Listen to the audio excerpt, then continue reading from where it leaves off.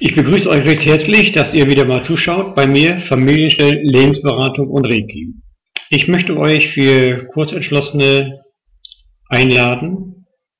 Wer, das heißt, wer noch nicht mitbekommen hat, dass ich morgen am 30. September um 19.30 Uhr in der kleinen Rostbeerstraße 11b in der Yogaschule Marionatong in Leer einen Vortrag halte über Familienstellen.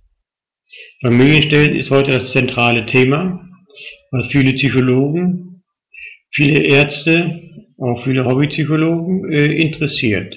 Familienstellen wird eigentlich immer mehr genutzt, nicht nur als Familienstellen, sondern als Systemaufstellung, Organisationsaufstellung in allen Bereichen unseres Lebens. Wir Vereine zum Beispiel, äh, wenn was nicht funktioniert, wenn was nicht läuft, wie mache ich, was soll ich, wie kann ich es handeln.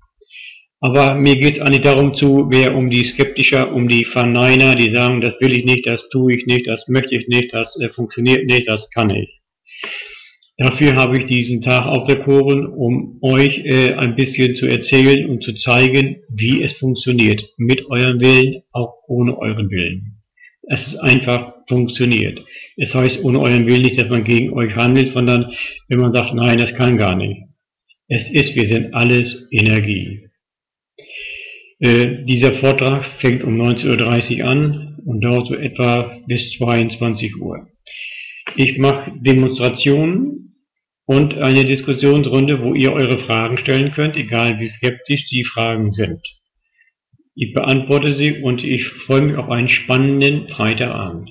Okay, des Weiteren möchte ich euch einladen am 29. Am 29. Oktober mache ich wieder das nächste Tagesseminar Familienstellen. Außerdem mache ich einmal im Monat äh, ein Tagesseminar Familienstellen. Das heißt, ich mache ganzjährige Seminare, äh, jeden Monat einmal. Und wer möchte und wer Interesse hat, ist recht herzlich eingeladen. Aber derjenige, der sich anmelden möchte, zum Beispiel als äh, Aufsteller, der ein Thema hat, soll mich bitte vorher anrufen unter der Nummer 04961 76853 unter dem, äh, der Voraussetzung, dass wir das Thema nochmal besprechen können. Auch alle anderen, die als Beobachter kommen möchten, sollen sich ebenso äh, vorher anmelden. Und wenn einer mehr wissen möchte, wie viele Themen irgendwie Aufstellung haben wir oder was macht er überhaupt, äh, hier ist mein Flyer und ihr könnt diesen Flyer runterladen von meiner Homepage meine Homepage lautet www.familienstellen-und, also und, minus lebensberatung.de. Oder wie ich schon erwähnt habe, die Telefonnummer 04961 768354. Dies ist der Flyer für 2011 und das, äh, der nächste Flyer für das nächste halbe Jahr 2012 wird in den nächsten Wochen erscheinen auf meiner Homepage runterladen zu können. Gut, warum ihr mir anrufen sollt, äh, um für eure Aufstellung. Ihr sagt, ihr kennt wahrscheinlich viele, bei anderen Aufstellungen so, wir können kommen, wir tragen die Thematik vor und wir stellen sie auf.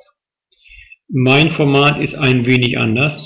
Ich lade euch zu einem Gespräch ein, wo wir über diese Thematik sprechen, die ihr aufstellen wollt. Nämlich wenn ich sagen würde auf dem Seminar, was ist dein Begehren, den würde man oberflächlich an der Oberfläche kratzen und würde nur die Hälfte mitbekommen. Wenn wir aber dieses Gespräch führen, es ist kein orientiertes Gespräch auf den Punkt, sondern ein offenes Gespräch, laden wir alle Ahnen ein, die wir haben, alle Vergessenen, alle, die wir verachten, alle, die wir nicht bei uns haben wollen, weil wir meinen, dass sie uns nicht gut tun, laden wir wieder ein und holen sie wieder hoch, weil nämlich alle diese zu unserem System gehören. Diese Ahnen sind in uns verankert und lösen in uns Reaktionen ein. Ein, sondern aus. Und ihr wisst selber, wenn man an einen denkt, den man nicht leiden mag, was macht es? Es macht Wut, Kummer, Schmerz, Traurigkeit. Wenn wir aber diesen wieder einladen und sagen, komm mit, komm mit mir zu mir in mein Leben, was passiert dann? Fangen wir mal ein bisschen zurück an. Dieserjenige, den wir heute nicht einmal, den heute verachten, hat ebenso ein Leben geführt und die gleiche Berechtigung gehabt, um sein Leben zu führen, wie du, wie ich. Wenn wir uns diesen Menschen mitbeschauen, was ihn zu dem gezwungen hat, was er gemacht hat, was uns heute einmal äh, peinlich oder ärgert oder quält, können wir beschauen und annehmen, dass er es eigentlich nur für sein bestes Vorankommen gemacht hat. Für sich einmal die glückliche Sonnenseite des Lebens abzustreifen oder einzufordern, die wir nicht geschafft haben und die er nicht geschafft hat. Aber wenn wir ihn mitnehmen im Schlepptau und sagen, du, ich achte dich. Ich achte dich für das, was du getan hast, kommen wir in unserer eigenen Würde ein Stückchen weiter. Ihr kennt alles von euch selber. Wenn einer aus der Familie, sagen wir mal so grob gesagt, Scheiße gemacht hat, dann fühlt sich die ganze Familie scheiße. Und keiner macht mehr erhobenes Hauptes aus der Tür rausgehen. Und mal sagen, wir sind diese Familie. Alle sagen sie, oh, hoffentlich gucken sie mich nicht an, hoffentlich wissen das nicht. Und beginnen weiter. Aber wenn wir jedes gewürdigt haben, ob es ein abgetriebenes Kind ist, ob es eine Fehlgeburt ist, ein Abgang ist, oder einer, der ein Verbrechen gemacht hat, egal ob er seine Eltern erschossen hat oder ob er im Krieg was gemacht hat. Alle diese Menschen wirken in uns. Und wir sollen diese Menschen wieder nach vorne holen, das heißt auf ihrem Platz. Nämlich ist es so, dass sich jemand Nachgeborene sich diesen Platz holen und sagen, du, ich hole dich hinein. Und dann passiert eine ganze Ecke. Dann passiert, dass unsere Kinder hyperaktiv werden, dass sie Depressionen bekommen und, und, und. Das gleiche ist heutzutage die Modeerkrankung, in Anführungsstrichen Modeerkrankung, Burnout. Was ist Burnout? Habt ihr euch mal Gedanken gemacht, was Burnout ist? Es heißt ja ganz schön, ausgebrannt aufgebaut, ich fühle mich leer. Na klar, der Körper ist am Verdringen und Verdringen der Informationen, die er bekommen hat. Burnout müsst ihr vorstellen, es gibt eine äh, Schranke im Bewusstsein, die alle das, was wir nicht gebrauchen können, was uns heute einmal äh, an unser Vorankommen, an unser persönliches Gut stört, wird verdrängt im Unterbewusstsein. Und diese, Schrank, diese Schranke wird aufgehoben. Es kann alles in uns hineinbrechen, was wir nicht mehr aufhalten können. Und auch Burnout ist nichts anderes, als wo einer sagt, hallo, ich bin hier nicht geachtet. Aus Erfahrung heraus, bei vielen Familienaufschlüssen immer wieder fest, dass irgendwie eine Person nicht geachtet, nicht gewürdigt worden ist. Und löst dieses Burnout aus, dieses Ausgebrannte. Dieser Mann oder diese Frau vegetiert auf Deutsch vor sich her, hat keinen Antrieb, hat keine Lust, hat keine Motivation, immer was zu machen. Alleine am besten nur noch irgendwo liegen, vor sich her starren, mehr auch nicht. Wird dieser Mensch wieder hineingeholt, passiert was Wunderbares. Erstmal die beiden vereinigen sich wieder, sie freuen sich, sich zu sehen, und derjenige, der den Burnout hat, gibt sein Paket, seine Verantwortung für dieses, was dieser gute Mensch unser Leben gemacht hat, also der Vorfahre, wieder zurück. Wir stärken automatisch diesem Vorfahren, geben ihm seine Kraft zurück. Und wir behalten dann automatisch unsere Kraft. Und wir können dann in unserem Leben wieder weitermachen. Wir haben aber auch gelernt, dass wir so unter Strom und Power gestanden haben, dass wir das nicht mehr wollen. Dass wir unser Leben diszipliniert angehen.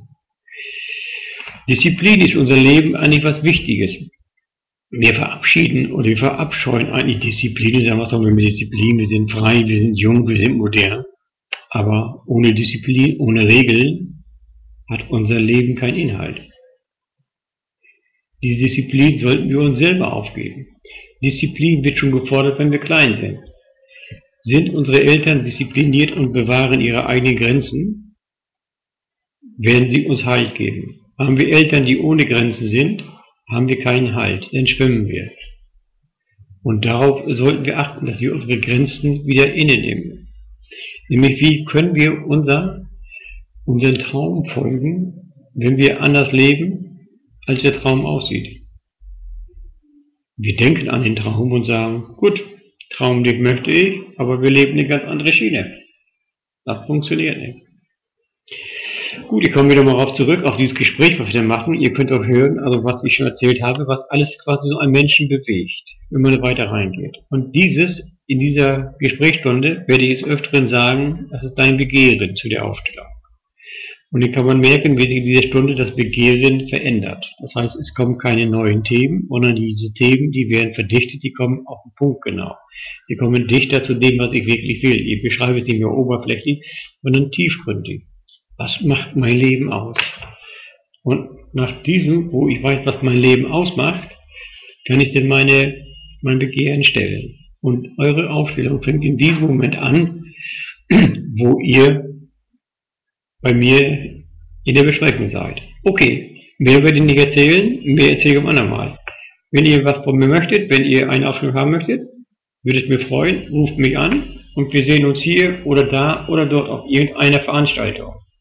Ich möchte eins noch mit sagen, ich gebe am 24. Oktober, wenn ich noch nicht gesagt habe, habe ich gesagt. Nee, äh, am 24. Oktober richtig, äh, das lange einen langen Reiki-Abend von 18 Uhr bis um 23 Uhr. Wir machen Reiki und Quantenheilung. Der Abend kostet für euch 10 Euro und wir werden zwischendurch ein leckeres Abendmahl essen, eine leckere Suppe. Ihr seid dazu eingeladen, aber bitte meldet euch vorher an unter der Nummer 04961 7 68354. Ich danke euch. Tschüss.